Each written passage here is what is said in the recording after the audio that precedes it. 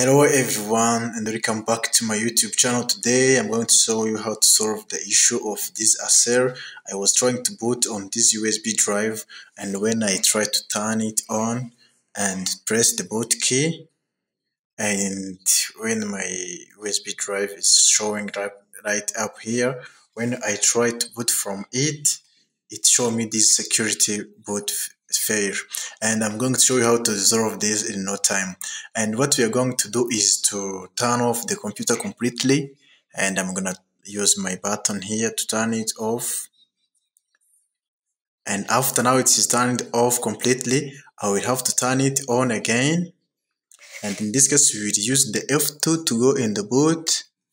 And when you reach in the this setup menu you can go uh, navigate on what's written main and you go on security tab.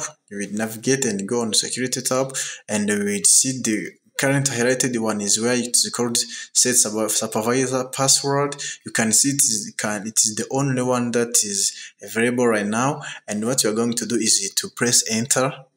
And after pressing enter I'm going to set this security password.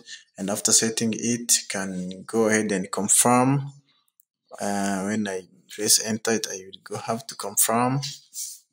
After confirming I will press enter. Uh, I brought my password. Wrong. Let me go it again. And enter. Put my password again enter. And as you can see now the chains have been saved.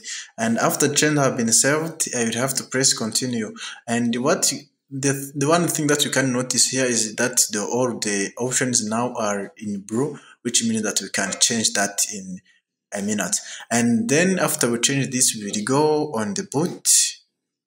And you will see where it's written secure boot. And you will go and press enter and you will go where it's written disabled and after you do that you will have to press F10 which is now to save the settings that you have made. And if it asks you if you want to to save the configuration and exit you will go ahead and press yes. And when it boot again you will have to press on F12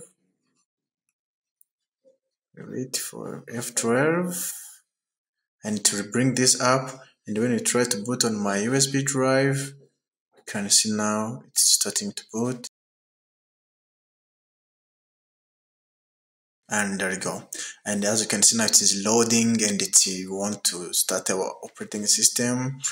And as you can see now can be to proceed with another processes. And that's how you can solve this issue. I hope you guys you found this video interesting. And if you enjoyed it go ahead and press like. And if you're coming on the channel for the first time don't forget to subscribe for the further videos. And i'll see you